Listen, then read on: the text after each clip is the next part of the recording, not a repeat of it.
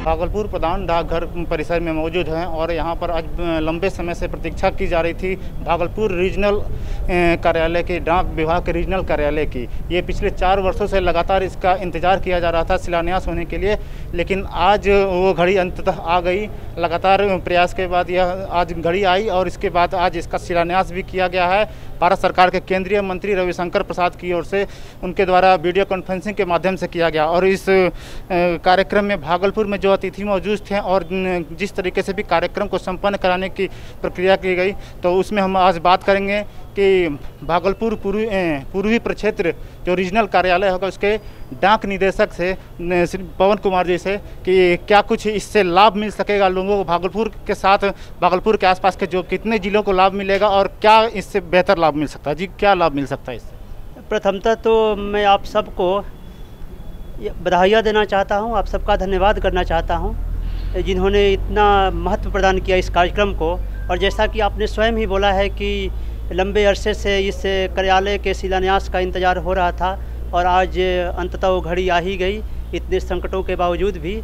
तो लाभ जैसा कि हमारे जो मुख्य अतिथि थे, विधान पार्षद महोदय ने पहले ही स्पष्ट किया था और बहुत कुछ इसकी ओर इंगित किया था कि 18 ज़िले इससे प्रभावित होंगे।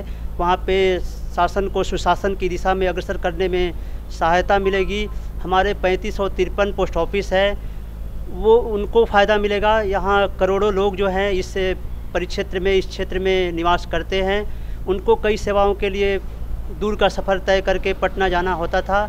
शायद उन समस्याओं से उन्हें निजात मिलेगा। शायद क्या? यकीनन उन्हें मिलेगा ही। तो कई तरह की और जो सेवाएँ हम बड़े से बड़े पोस्ट ऑफिसों में दे रहे हैं और जो नई सेवाएँ और हम प्रदान कर सकते हैं, यहाँ जब वरिष्ठतम अधिकारी बैठेंगे तो उनका ध्यान उस ओर भी जाएगा। तो ज़ाहिर तौर पर इस रूप में भागलपुर की जनता को, भागलपुर के क्षेत्र को और उस पूरे परिक्षेत्र को लाभ मिलेगा? जी सर बताया कि 18 ज़िले के जो भी डाक कर्मी हैं डाक विभाग से जुड़े हैं जो भी अधिकारी हैं या इस 18 ज़िले की जो जनता है उन सबों को इस रीजनल कार्यालय का लाभ मिलेगा। और अब हम इस पर जानते हैं कि लगातार जो पिछले कुछ समय से प्रयास कर रहे थे भागलपुर के डाक अधीक्षक उनसे कि किस तरह की आगे से क्या योजना है और किस तरीके से कार्य को गति दी जाएगी? जी। कार्य का गति जब रीजनल कार्यालय यहाँ आ जाएगा तो उसमें चाहे टेक्नोलॉजी का क्षेत्र में हो चाहे पब्लिक का जो क्लेम सेंक्शन के बारे में हो जैसे डाक जीवन बीमा का क्लेम सेंक्शन होता है उन सब का सेंक्शन करने में हम लोग को बहुत कम समय लगेगा आम जनता को कम समय लगेगा और पटना आने जाने का चक्कर से छुटकारा मिलेगा। तो कब तक काम पूरा हो सकता है? इसमें दो साल करीब करीब लगने वाले हैं दो साल में यह काम पूरा हो जाएगा।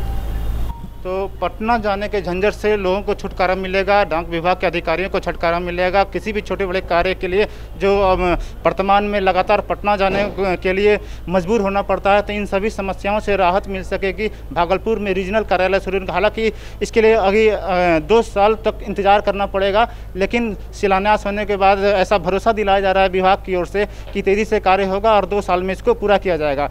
तो अंततः भागलपुर में ये रीजनल कार्यालय के शिलान्यास होने से भागलपुर के डाक कर्मियों के साथ लोगों में भी काफ़ी उत्साह है और हम इसके आप देख सकते हैं कि लगातार यहाँ कितने भारी संख्या में यहाँ पर, हालाँकि यहाँ कोरोना माहौल चल रहा है, इसको लेकर के काफ़ी कुछ ध्यान कई जगह रखा गया है, लेकिन अब कार्यक्रम समापन भी हो चुका है, तब इसके लिए सब, सभी लोग अपने गंतव्य की ओर जाने के लिए तैयार हैं और इसी के साथ आप हम इंतज़ार करेंगे कि आखिर कब तक यह कार्यालय शुरू हो पाता है। कैमरा पर्सन सुमित कुमार के साथ रविशंकर सिन्हा, सिल टीवी, भागलपुर।